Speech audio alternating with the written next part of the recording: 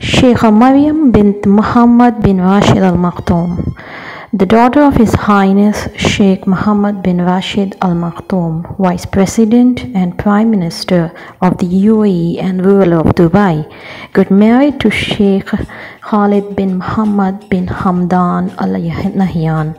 The young prince's siblings and other members of the royal family took to social media to congratulate the couple after the Al Aqd ceremony on September 19, 2019. Sheikh Khalid is a member of the Abu Dhabi royal family.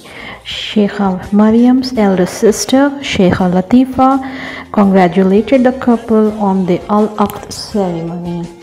As part of the wedding celebrations, the ceremony involves the signing of the official marriage contract. Holy recitation is then followed by the men performing a traditional Emirati dance. Long time of the Al Maktoum family, Mama Noura also wished the couple on Instagram.